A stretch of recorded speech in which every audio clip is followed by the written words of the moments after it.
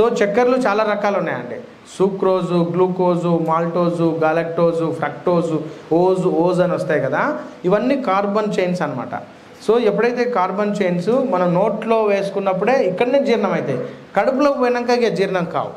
కడుపులో అంటే స్టమక్లో only HCl మాత్రమే ఉంటుంది.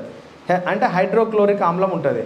అది చక్కెరని అంటే అంటే డైజెస్ట్ చేయదు. బ్రేక్ చేస్తుంది. కానీ చక్కెరను జీర్ణం చేయదు. అంటే బలంగా మార్చదు. అందుకే మీరు అబ్జర్వ్ చేయండి. మీరు ఏదైనా చక్కెరని ఇట్లా గొంతులో పోసుకొని తాగండి మీకు ఎంజాయ్మెంట్ అనిపించదు.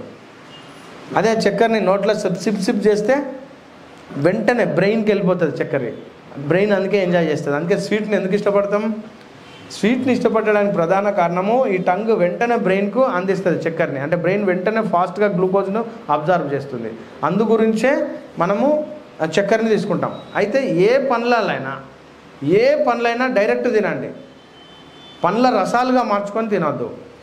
పండ్ల రసాలుగా తీసుకుంటే పండ్ల రసం ఇక్కడికి వెళ్తుంది. ఇక్కడ అరగదిగా అరగడం వేరు బ్రేక్ డౌన్ వేరు.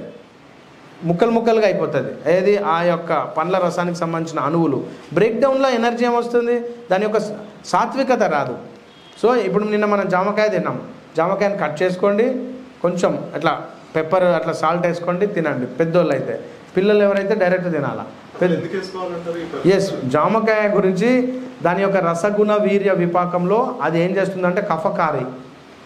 జామకాయ రోగాన్ని సృష్టిస్తుంది. జామకాయ రోగాన్ని సృష్టిస్తుంది. అయితే తక్కువ మోతాదులో బలం ఇస్తుంది. ఎక్కువ మోతాదులో రోగాన్ని సృష్టిస్తుంది.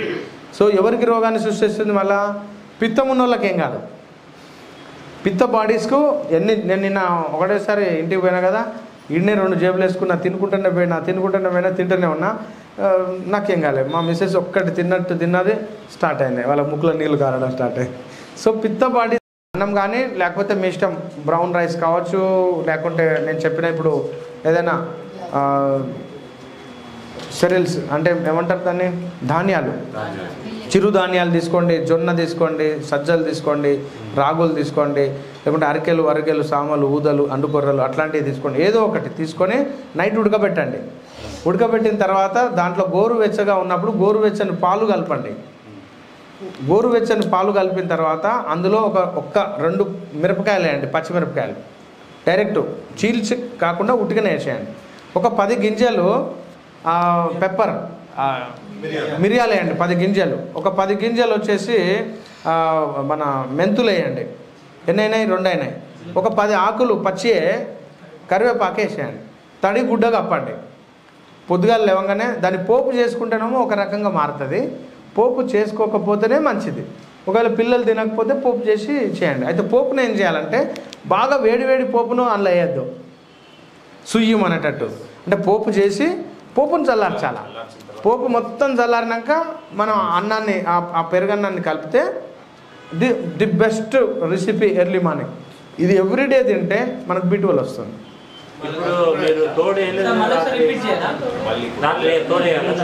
వేసుకోవచ్చు. తో- పాలల్లో తోడేసి అది పెరుగు కావాలండి మిరపకాయ వేస్తే కూడా తోడవుతుంది అక్కర్లేదు. అదే కదా. రేపు భలే ఉంది. తొడిమెతో సహా. పచ్చిమిర్చి. పసుపు వేయద్దు చింతపండు అంటే పులుపు. అదే. మీరు ఇంకా మీకు ఫాస్ట్గా ఖచ్చితంగా కావాలి లాక్టిక్ యాసిడ్ బ్యాసిలసే కావాలి అనుకుంటే అప్పుడు ఒక చెంచాడు పెరిగేయండి. పచ్చిమిర్చి పచ్చిమిర్చి అయితే ఇప్పుడు నేను చెప్పిన దాంట్లో లాక్టిక్ యాసిడ్ బ్యాసిలసే కాకుండా చాలా రకాల మైక్రోబ్స్ వస్తాయి. ఇప్పుడు నేను చెప్పిన దాంట్లో. అయితే తోడు పెట్టినాం అనుకోండి లాక్టిక్ యాసిడ్ బ్యాసిలస్ కూడా వస్తుంది. తోడు ఒక హాఫ్ స్పూన్ వేసుకోండి. చేయితోటే కలపండి. చెంచాతోటి కలపొద్దు. బ్రేక్ డౌన్ అవుతుంది ఏది మిషనరీ తోటి అయితే చేయితోటి అయితే బ్రేక్ డౌన్ కాదు. అది super breakfast in the world. పాలే అంటే పాలు అంటే మీరు టేక్ ఇట్ గ్రాంటెడ్. దేశీ ఆవు పాలు అవి రక్షిత ఆవు పాలు అని అంటా నేను. చూడండి నా ప్రిస్క్రిప్షన్ వెనుక. ప్రొటెక్టెడ్ కౌ మిల్క్ అమ్మా?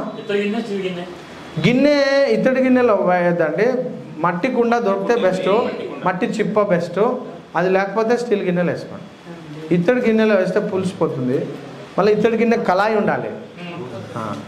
ఓకే మనము ఈ పని చేయొచ్చు. మట్టి దాంట్లో ఈ మట్టి పర్లేదు పర్లేదు ఏం కాదు. మట్టి మట్టి కుండ ఉంది కదండి. మట్టి కుండలో మనము క్లీనింగ్ అనేది సమ్ ప్రాసెస్ ఉంటుంది మట్టి అనేది మనం ఉంటుంది దాంట్లో. మళ్ళీ మనం క్లీన్ చేసి ఎండకు పెట్టడం అట్లాంటివి చేయాల్సి వస్తుందా? అంత అవసరం లేదండి. మనము రోజు మన ఇంట్లో ప- మనం ఒకప్పుడు అవే కదా వాడిన. అంత శుభ్రత ఏం అక్కర్లేదు. అక్కర్లేదు. మామూలు మట్టి కుండలు వాడుకోవచ్చు. మామూలుగా మట్టి కుండలు వాడితే మట్టి కుండలు ఒకప్పుడు కోడలి యొక్క గుణం చూడాలంటే మట్టి కుండల్ని చూసేదట. ఆ కుండ ఎన్ని రోజులు పాతదైతే ఆ కోడలు అంత బుద్ధిమంతురాలట. తెలుసా మీకు? అంటే పాత కుండ ఉంటే ఆ కోడలు అంత గొప్పదన్నమాట. ఎందుకు? పలగొట్టలేదు అన్నట్టు అట్లా. అయితే ఇప్పుడు కొత్త కుండలు మీరు కొంటా అంటే మీ ఇంట్లో కోడలు అంత గొప్ప ఆమె అన్నట్టు.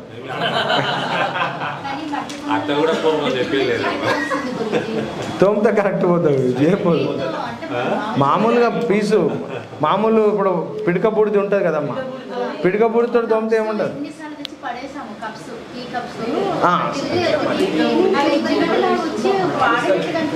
లేదు లేదు.